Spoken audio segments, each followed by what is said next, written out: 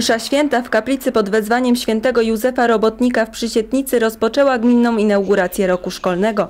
Uroczystą liturgię sprawował ksiądz Ryszard Krępowicz w asyście ojca profesora Marka Inglota z Papieskiego Uniwersytetu Gregoriańskiego w Rzymie. Homilię traktującą o procesie kształtowania się osobowości ucznia wygłosił ksiądz Marek Duda. Jest 1 wrzesień.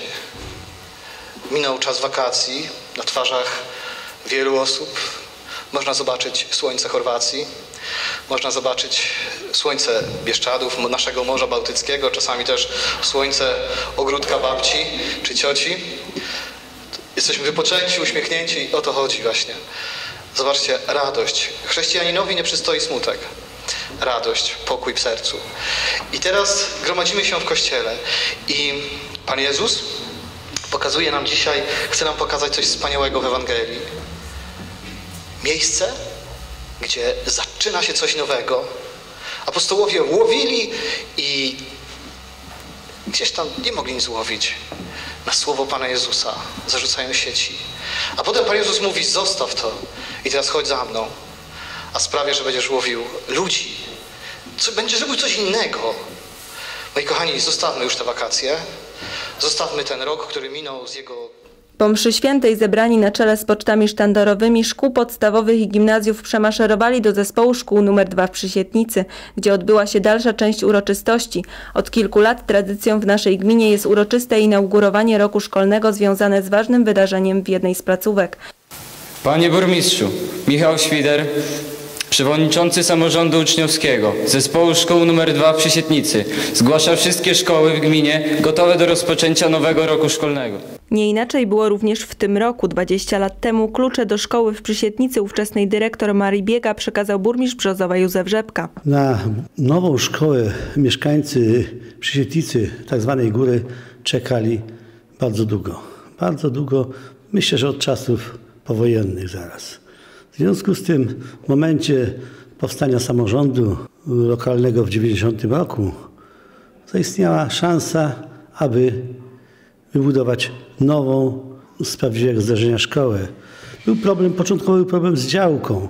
Niemniej jednak po usilnych staraniach, zabiegach y, dwóch właścicieli zgodziło się sprzedać działkę. Kupiliśmy tą działkę początkami 90. Zrobiliśmy projekt i w 94 roku został wmurowany kamień węgielny pod budowę tej szkoły. W ciągu niespełna dwóch lat szkoła została wybudowana, a w następnym roku oddaliśmy do użytku salę gimnastyczną. Pięć lat temu boisko wielofunkcyjne, boisko, które służy uczniom, również podobne jak w wielu innych miejscowościach przy szkołach podstawowych i gimnazjach. Dyrektor zespołu szkół nr 2 w Przysietnicy Jadwiga Ścibor w imieniu burmistrza Brzozowa przywitała przybyłych gości na gminnej inauguracji roku szkolnego. W związku z jubileuszem placówki wspomniała rok 1996, gdzie po wielu latach starań władz samorządowych i mieszkańców Przysietnicy wybudowany został obiekt szkolny. Równo 20 lat temu nasi uczniowie i nauczyciele otrzymali w prezencie tę piękną szkołę. No tak szczęśliwie się składa, że ja w tej szkole jestem tutaj od początku, a więc ponad 20 lat w szkole podstawowej, a w tym nowym budynku 20 lat. Cieszę się, że przez te wszystkie lata ta szkoła tak się pięknie rozwija. Wielu wspaniałych absolwentów opuściło naszą szkołę, którzy rozsłabili nie tylko naszą szkołę, ale Przysietnicę, nasz region. Cieszymy się z sukcesu, którzy mieli nasi uczniowie, a było ich sporo, o czym świadczą liczne dyplomy, liczne puchary na naszych szkolnych e, korytarzach. Szereg różnorodnych inwestycji w szkole zrobionych, które poprawiło bardziej warunki e, nauczania dla naszych uczniów. Także możemy sobie tylko gratulować, że w takiej szkole pracujemy. Czy to zaszczyt, że dzisiejsza inauguracja właśnie odbyła się w Waszej szkole? Ja nie ukrywam, że jest to dla nas ogromne wyróżnienie i liczyłam na to, że właśnie w tym roku nasza szkoła dostąpi tego zaszczytu gminnej inauguracji nowego roku e, szkolnego. Cieszyli się też nauczyciele, przygotowali piękną część artystyczną. Nie ukrywam, że ogromną radość wykazali też nasi uczniowie, którzy włączyli się we wszystkie przygotowania tej części artystycznej. Tak pięknie dzisiaj po prostu wystąpili przed Państwem. Dzisiejszy jubileusz to nie jest zasługa tylko nasza. Muszę tutaj podkreślić ogromną rolę naszych władz samorządowych, a zwłaszcza burmistrza Brzozowa, pana Józefa Rzepki, który 20 właśnie lat temu oddał klucze ówczesnej pani dyrektor Marii Biedze, no i naszym uczniom. To było jego dzieło, to było jego dziecko, które dopieszczał, też tak mogę powiedzieć, przez te wszystkie 20 lata. Szereg inwestycji w 2011 roku, oddanie pięknego boiska funkcyjnego, wymiana stolarki okiennej, e, doposażanie naszej szkoły e, w sprzęt e, do prowadzenia zajęć lekcyjnych. Bez tego, bez wsparcia władz samorządowych, bez tutaj poparcia naszego burmistrza nie mielibyśmy tego, co mamy dzisiaj. Szanowni Państwo, nowy rok szkolny to nowe wyzwania. Stoimy w przededniu zapowiadanej przez rząd reformy. Okolicznościowe przemówienie wygłosił burmistrz Brzozowa Józef Rzepka. Zaznaczył, że oświata ma zawsze priorytetowe znaczenie dla samorządu. Odwołał się do zapowiadanej reformy oświaty, której efektem będzie powrót do ośmioklasowej szkoły podstawowej, a także przedstawił najważniejsze inwestycje przeprowadzone w szkołach i przedszkolach podczas wakacji. Panie burmistrzu, zwizytował Pan placówki oświatowe przed rozpoczęciem roku szkolnego. Czy są one dobrze przygotowane do przyjęcia uczniów? Okres wakacyjny uważam, że został bardzo dobrze wykorzystany przez dyrekcję szkół, pracowników obsługi szkolnej, ale przede wszystkim my, jako przedstawiciele gminy, organu prowadzącego te placówki, dokładaliśmy wiele starań i zabiegów, aby te placówki były na czas gotowe i żeby były w taki sposób przygotowane, aby przyciągały uczniów. Szkoła nie ma odpychać, straszyć, ale przede wszystkim ma być przyjazna, radosna i ma przyciągać uczniów. Myślę, że z tego zadania na piątkę wywiązaliśmy się.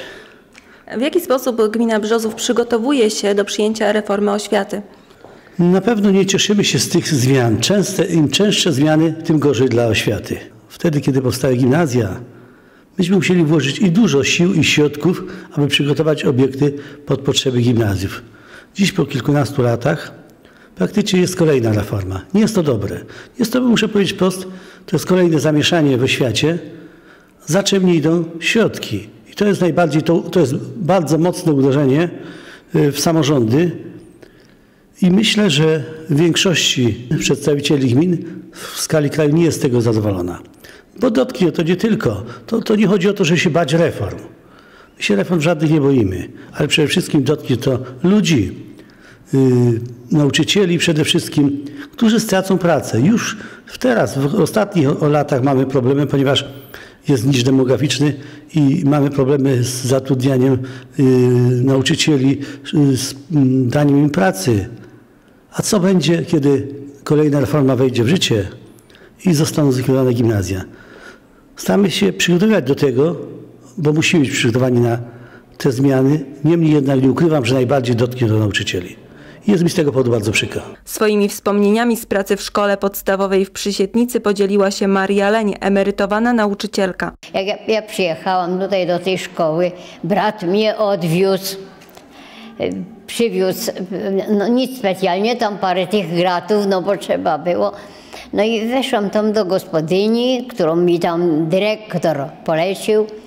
Poszłam, no ona e, no, jakoś tak, jakoś tak niechętnie. Ja mówię tak, ale wie pani, ja nie przywiozłam sobie nic, tylko, mate, tylko siennik, a, a proszę o słomę jakąś, bo, bo u nas, no nie ma, nie, my nie mamy tego, no nie mogłam przywieźć.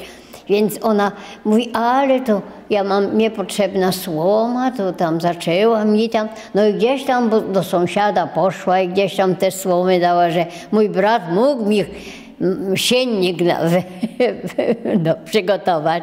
Jak przyszłam się zgłosić do tego, był tam bardzo taki zacny dyrektor, może nawet znany taki, on bardzo, bardzo dużo pracował w, w taki był prawdziwy, yy, prawdziwy nauczyciel.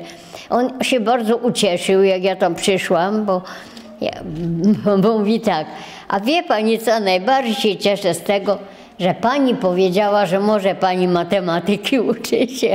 A ja mówię, to mogę uczyć, bo lubię matematykę. Ja lubiłam zresztą dzieci i lubiłam szkołę, bardzo lubiłam szkołę.